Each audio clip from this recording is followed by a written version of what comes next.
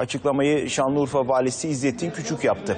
AK Partili Belediye Başkanı Nihat Çiftçi'nin bazı temaslarda bulunmak üzere Siverek ilçesine gittiğini belirtti. Akşam saatlerinde Şanlıurfa'ya dönmek üzere yola çıkan çiftçinin konvoyuna uzun namlulu silahlarla ateş açıldığı belirtildi. Şanlıurfa Valisi çiftçi ve beraberindekilerin saldırıdan yara almadan kurtulduğunu söyledi.